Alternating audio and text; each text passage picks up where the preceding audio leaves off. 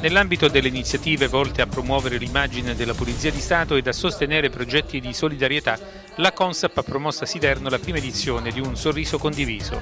L'iniziativa, patrocinata tra gli altri dall'amministrazione provinciale di Reggio Calabria, ha le sue origini dalla collaborazione intrapresa tra il sindacato ed il gruppo Cabareggio in Sketchando si impara, concorso teatrale che tanto successo ha ottenuto a marzo del 2008. Il gruppo, con la messa in scena di alcuni sketch inediti, ha regalato dei momenti di sano divertimento a tutti gli intervenuti ed in tale contesto che spontaneamente è nata l'idea di portare il sorriso di quella magica serata regina a chi sfortunatamente non ha avuto la possibilità di viverla per i tanti ostacoli che la vita interpone. Quindi si è allestito uno spettacolo costituito dalla messa in scena di alcuni sketch comici intervallati da pezzi musicali da portare in scena direttamente in tutti quei luoghi, in questo caso la casa di riposo Sant'Antonio di Siderno, ma anche in ospedali orfanotrofi, dove vi sono persone che stanno vivendo un momento di difficoltà e che forse da troppo tempo non conoscono il piacere di una sana risata. Il progetto sta trovando l'adesione ed il sostegno di tutti coloro che con il loro contributo credono nell'iniziativa,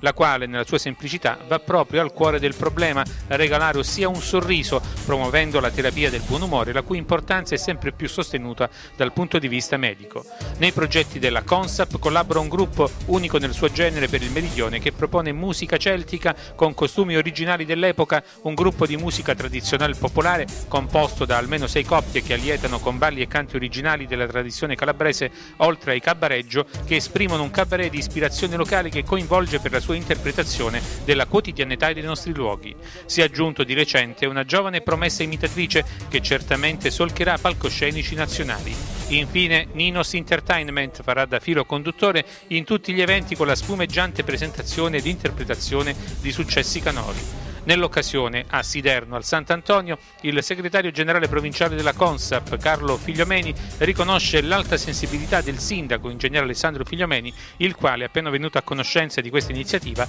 l'ha fortemente voluta per la casa di riposo Sant'Antonio di Siderno. Oggi siamo qua a offrire uno spettacolo, una, un momento ricreativo a questi ospiti della um, casa di riposo di Sant'Antonio, Sant'Antonio qua di Siderno, nel lungomare di Siderno. Questa manifestazione voluta e organizzata dal sindacato di polizia CONSAP